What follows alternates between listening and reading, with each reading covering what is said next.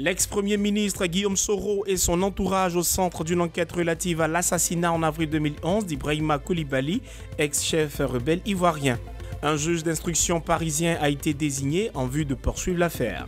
Macky Sall renonce à un nouveau mandat au Sénégal. Les Sénégalais vivant en Côte d'Ivoire expriment leurs sentiments. La fête des mères est encore célébrée en Côte d'Ivoire. Les femmes exerçant dans les domaines de la littérature et de la communication ont été honorées par le magazine Femmes d'Afrique du groupe Fraternité Matin. Voici pour les titres de ce 7 minutes. Bienvenue à toutes et à tous. Guillaume Soro est accusé d'être impliqué dans l'assassinat d'Ibrahima Koulibaly dit ex-chef rebelle ivoirien mort en 2011. L'information révélée par l'agence française de presse soutient qu'une source judiciaire a confirmé que la plainte est une initiative de la fille de M. Koulibaly sur les infractions de torture et d'assassinat. Une nouvelle de goût amer pour le camp Soro, car suite à cette sortie, maître Robin Bézard, l'un des avocats de l'accusé, exprime une contestation. C'est une procédure calomnieuse et politique, opportunément initiée en mai 2020, près de neuf ans après les faits et à quelques mois de l'élection présidentielle ivoirienne.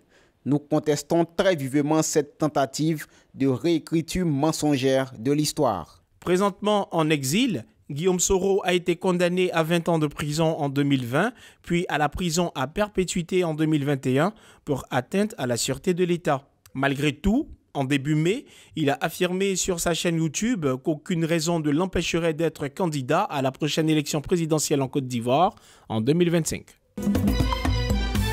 Les Sénégalais enfin fixés sur les intentions de Macky Sall. 24 heures après son discours annonçant qu'il ne sera pas candidat à sa propre succession, l'information continue de circuler à Abidjan, dans la commune de Trècheville, où vit une importante communauté sénégalaise. J'espère que ce président Macky Sall va, euh, dire, euh, honorer son engagement qu'il vient de nous faire, qu'il ne se présente plus. Déjà, il a euh, calmé le Sénégal en l'heure là, parce que vraiment, il y avait vraiment de tension. Vraiment, les gens vivaient en peur. Il y avait surtout le problème du troisième mandat là. Tout le problème, c'est le troisième mandat. Mais Dieu merci, comme il a été sage, vraiment, et honorer son engagement, euh, on peut le féliciter. On, disait que le seul mot qui pouvait régler les problèmes est de ne pas qu'il se, se, présente. Bon, Dieu merci, il l'a fait. Il l'a fait. Ça a surpris à plusieurs personnes quand même. Mais je pense que dans les 4 à 5 mois qui restent, il n'y aura pas un changement. Comme il l'a dit, il l'avait dit dès au départ, je ne vais pas dépasser les deux mandats en expliquant, il a dit ça. Plus que Senghor ne l'a pas fait, Abdou Diouf ne l'a pas fait, Ablaï ne l'a pas fait, dans son discours, ce n'est pas lui qui va faire ça. On dit toujours Dieu merci. Voilà, vraiment, je suis satisfait en tout cas, je suis satisfait. Pour beaucoup, le renoncement de Macky Sall à une nouvelle candidature n'est pas une décision salutaire, elle est simplement normale. Personnellement, je ne le félicite même pas parce qu'il a fait son devoir. Il ne doit pas être candidat au troisième mandat, c'est ça.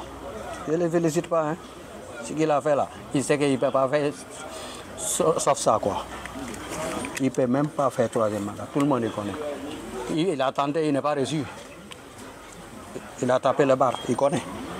À huit mois des prochaines échéances électorales, beaucoup de questions restent encore en suspens, alors que personne n'a été mis en avant par le camp présidentiel. Macky Sall a renoncé au troisième mandat dans son pays, le Sénégal. Dès lors, son geste est salué de partout. En Côte d'Ivoire, cette décision de ne pas vouloir se représenter annoncée officiellement n'a pas laissé indifférents les acteurs de la société civile et de la classe politique ivoirienne. Je crois que Macky Sall va finalement rentrer dans l'histoire. Il a failli euh, passer à côté de l'histoire, mais il sait se rattraper. Et c'est ce qui est à saluer. Merci Macky Sall. Ce soir, je puis le dire. Merci Macky Sall. Toutefois, et je devrais l'ajouter parce que cela s'impose à moi, ce n'est pas Macky Sall de choisir qui va être président après lui. Je veux répéter, ce ne sera pas à Macky Sall de dire qui doit être candidat, qui doit être président après lui. Qu'il permette à tous les Sénégalais dignes de ce nom de se présenter et que le peuple et le peuple seul choisissent. Nous saluons à l'URD la lucidité et le sens des responsabilités du président Macky qui dans son discours à la nation a fait référence pour annoncer qu'il ne briguerait pas un troisième mandat, a fait référence donc à son sens de l'honneur et de la parole donnée. Je dois dire que nous sommes sensibles à ce dernier argument du caractère sacré de la parole donnée, alors que les hommes politiques africains et ivoiriens en particulier n'hésitent pas à se renier au gré d'intérêts opportunistes. Au Sénégal, le président fait la une de tous les journaux.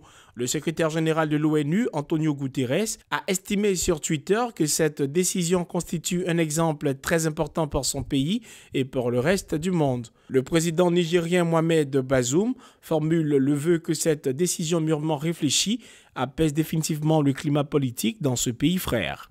Face aux troubles qu'a connu le Sénégal en début juin, le discours du chef de l'État semble être une décision d'apaisement pour le pays. Les femmes continuent d'être célébrées en Côte d'Ivoire. Le magazine Femmes Afrique du groupe Fraternité Matin a rassemblé les mères à l'occasion d'une fête dénommée Wonderful Moms. Pour cette deuxième édition, les femmes exerçant dans la littérature et la communication étaient à l'honneur. L'événement s'est déroulé autour du thème concilier vie professionnelle et familiale. Après la première édition tenue l'année dernière dans cette même salle, nous sommes de retour pour la deuxième édition qui rassemble à nouveau des mères valeureuses, des mères d'exception qui partagent leurs précieuses valeurs de courage, de travail et d'humanisme et constituent, aux côtés de tant d'autres, des soutiens et des repères de leur famille et de leur société. À celles qui seront distinguées au cours de cette cérémonie, nous adressons nos chaleureuses félicitations pour les multiples exemples d'abnégation et de solidarité qu'elles représentent. Puisse leur exemple en inspirer d'autres afin que l'année prochaine, elles soient encore plus nombreuses à recevoir nos hommages. Je me sens honorée, je me sens honorée par cette distinction euh, qui marque un peu la reconnaissance de toutes les actions que nous menons sur le terrain auprès des populations. Et moi, à travers ma fondation Adjarato Deme, qui mène beaucoup d'actions euh, sociale auprès des femmes.